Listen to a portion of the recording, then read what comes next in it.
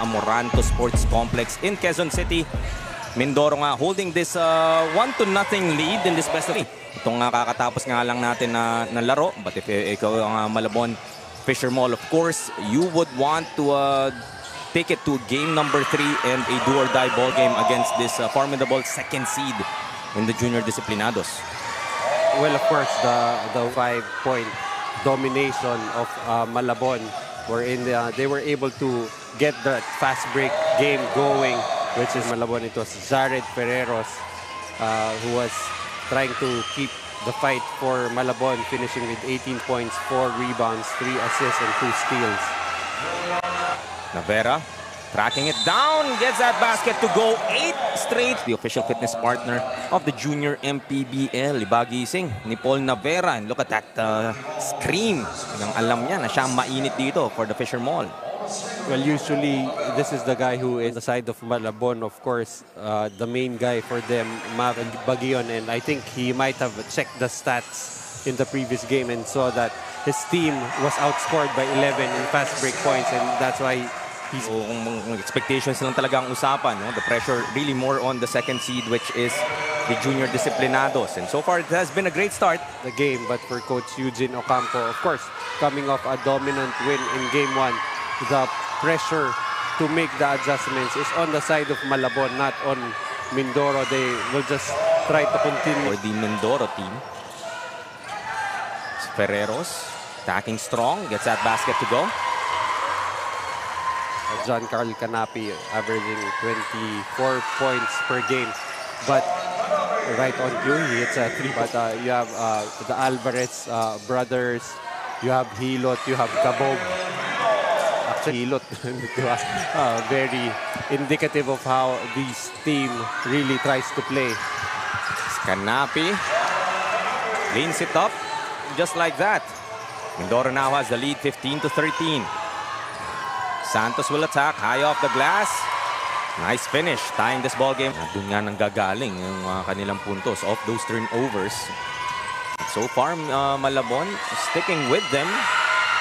Mindoro more of a fast-breaking type of team. Points in the paint pa rin naman ng layup. Oh, yeah, exactly. So, mga, At ang mga alley-oop. As Cabog in the sky play. Ano naman yung uh, amuyan ng mga player dito sa Min And Villano, hindi naman siya pinahiya.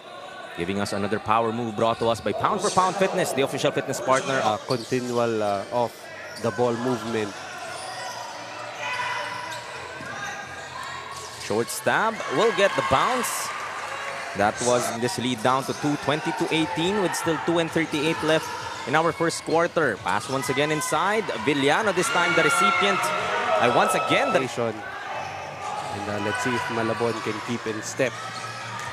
Scabog will miss on that three-pointer. Villano, third try. How about the second power move brought to us by Pound for Pound? Ill. What's impressive there is the second jump. Outworking uh, the bigger... Off that Cabog miss. He got that uh, nose for the ball. Parang alam niya na dun nga mapupunta and that uh, three-pointer was one from his players. And uh, I think that has uh, also translated to how the players are enjoying their time this. The official fitness partner of the junior MPBL got that rebound, deciding to uh, take it all the way. Look at your big running that floor, taking it all the way. Yung lipad ni Alvarez, but Canapi, first attempt, able to get it in the second for our team to play, move off the game. Second quarter po, sa aming pagbabalik. They are uh, to be victorious in this game this evening. They will be facing the uh, Pampanga Junior Giant Lanterns in the semi. Extend this to a game number three, do or die. And uh, who knows, they might just lay this number two seed Mindoro Dicena Foundation Junior Disciplinados as Ferreros gets another. Uh, players who were used to either playing with slippers or without any shoes. And they were much faster and agile than we were. Athletic, uh, these uh, players coming from Mindoro. As we saw Ferreros there getting that power move brought. Two-point lead now para sa Malabon 30 to 28. Meanwhile, balik tayo kay Andy for a report. Andy? Coach Eugene of Mindoro really expects Malabon to guard them much better in this uh, second playoffs game. Para naman kay Adi Alvarez. Basket to go. Great defense there coming from Cruz. 31 to 30, one point lead para sa Fisher Mall. Underneath, another basket here para sa Mata na ba't yan? Uh, binabati po namin si Boss JR Disena, Disena Foundation, sa kanyang mga family niya po. Ah, ingat po dyan sa abroad, ah, sa Bioscopic. Ah, Big key nga for Mindoro. As communicated there, didiinan nila looking to uh, build an advantage heading into the second half. Well, I'd, uh, I'd just like to have a quick which Frankie uh, Lim uh, was in the Team B. And uh, even right before he stepped on that plane, uh, Dito sa kanyang mga bata, supporting itong junior MPBL. Scanapi will miss from outside. Itong lead nga na inahanap. us are talking, they believe uh, their game plan and uh, they're gonna have to be very convincing also for the players to Binibigyan nila yung sarili nila ng tsansa in this ball game so far. And Ferreros add two more to it. And the seventh seed, Malabon Fisher Mall. 10 seconds to work with. Canapi finds a way.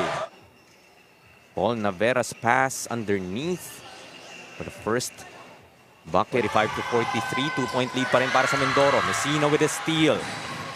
Goes up against Canapi. Can't get the bounce. Another try. Ang gusto niya. May foul. Mav miss.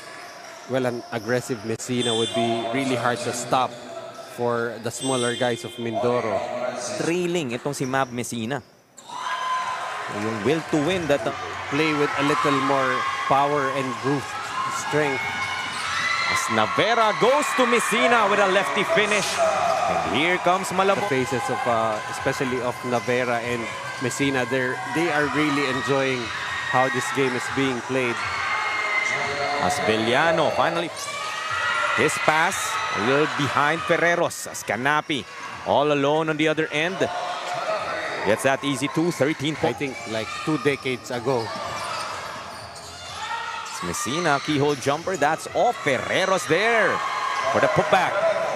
Together with Ferreros, really making uh, the life of Mindoro in this game very difficult as Navera gets a three-pointer from the corner, blowing kisses to the crowd. At that three-pointer from Paul Navera wide open, making Mindoro pay. Lamang nga sila ng anim dito with 4 and 51 left in the third. Eight-point lead now, the biggest lead so far for Malabon. Canapi will try from outside. Gets that three-pointer to go. A little bit awkward itong uh, release. Third opportunity para sa Malabon. Navera once again, attacking the hoop. Too strong, gets his own miss. Kicks it out to Santos. Three ball will go. Tuloy ang apo. anything. Uh, Malabon not playing scared right now. Uh, I think uh, they've actually turned the tables here and uh, the team can hold on here. You know, Malabon, despite having a seven-point lead, will have to be worried about the offensive firepower. Canapi starting to take over. Another three-pointer. Gets the bounce back. His miss. I don't think he uh, I don't think he thought that he would miss it though. but uh, it tracked it nonetheless as Messina finds Cruz. Napili. This was John Canapi. Wait. Look. Ay, nakaapak na siya dun sa lugo. John Canapi. Bringing on. Holding on to this four-point lead against the Mindoro Decena Foundation Junior. Disiplinados as Canapi stealing that pass na dapat para kay Hilo. Happy. Make that 28 points now para sa kanya. Santos. Mababawi sa kabila. Two-point lead once again para sa Malabon Fisher mo. Dito kay Mab Messina nga. He may not be scoring as uh, is usual. And yung struggles niya nga sa game 1 also evident. Carried over dito sa game 2. Ferreros carrying over that performance. Takbo dito ang Mindoro. Hilot leading the break. Goes to Villano. Unable to finish, but Canapi shows them how it's done. Just really unre... Yung fatigue talagang susunod at susunod sa'yo. Nice move by Ooh. Aguilar. Giving Ferreros or Navera will be uh, a welcome addition for the boys of Coach Froilan Baguion. Sabi naman, 26 still left here in our fourth quarter. Mindoro leading by 3, 73 to 70. In this uh, game number two of their best of three quarterfinals matchup. It was the John Canapi show, especially here. And to extend this uh, lead and build a bigger cushion for the junior disciplinados as Hilot finds his way through. Tas na naman ang rebound. Goes behind the back. Takes it all the way for two. Seven-point lead now para sa Mindoro. Haba pa to. Still 5 and 16 remaining in this ball game. Navera finds Perucho underneath. Three to shoot now. Kanapi ibabato. Short on that three-pointer, but Alvarez there for the offensive rebound and put back. Gets another two. Try from outside. Short on that three-pointer. Messina gets it. Pass ahead to Perucho. Able to get that finish. Four-point lead once again para sa junior. And uh, for any coach, you always want to be in a situation like this. As Asi Alvarez escapes on the baseline. Go to Santos. Pass stolen by Hilot. Messina trying to chase him. Still gets that basket. Less than two minutes remain. Pass stolen by Messina. Mav Messina will get that layup to go down to a four-point lead now. 83 to 79. A minute and hands it off to Hilot. Four to shoot. He will try from outside. Too strong. Gatchalian, another offensive rebound. And the reverse. Ba't ko pa kick out? Pwede na ako di. Not allowing nga na makahabol ng tuluyan itong Malabon. They go to Alvarez. Layup for two. Ganun lang kadali para sa Mindoro. Bilis. Mr. Excitement that time. Villano steals it to Canapi and that just might be the Alvarez with that quick attack.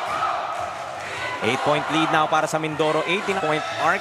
Messina will try again. This time, he will be fouled. He will go to this Mindoro squad. The number two seed. Show of class once again for this Malabon squad. As players shake hands. And yep, uwian na nga po. Since this is the last game on this Saturday.